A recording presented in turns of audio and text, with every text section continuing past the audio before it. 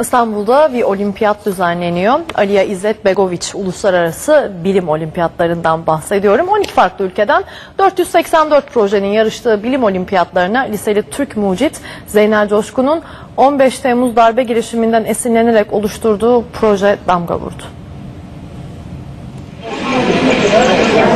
Uzaktan yeni çipli kimliklerimizin çipini tanıyacak. Çipini tanıdığı zaman tankın ateşleme ve hareket sistemini durduruyor. 15 Temmuz'da yaşanan FETÖ'cü darbe girişiminden etkilendi. Çipli kimlikleri tanıyan tank projesi geliştirdi.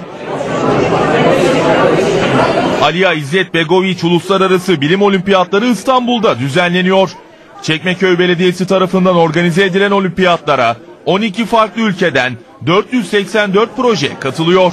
Genç mucitlerin buluşları sergileniyor. İnsan gözü göremiyor. Bunu ben telefonla göstereyim size telefon kamerasıyla. Gördüğünüz gibi iki adet led yanıyor. Fakat insan gözü bu ledi göremiyor. Perde arkasına yerleştirdiğimiz ledler insan gözünü hiçbir şekilde etkilemiyor. Fakat kamerayla hiçbir görüntü alamıyorsunuz. Bu sayede korsan çekimi önlemiş oluyoruz. herhangi bir sebepten dolayı e, elini kaybetmiş olan insanların günlük hayatta bağımsızlıklarını arttırmak, e, basit günlük işleri yapmalarını kolaylaştırmak. İkinci amacı da sanayide güvenliği arttırmak. Yani e, insan gücünün gerektiği fakat tehlikeli olan yerlerde e, güvenliği arttırmak. Projelerin hepsi güzeldi ama biri hepsinden daha fazla ilgi çekti.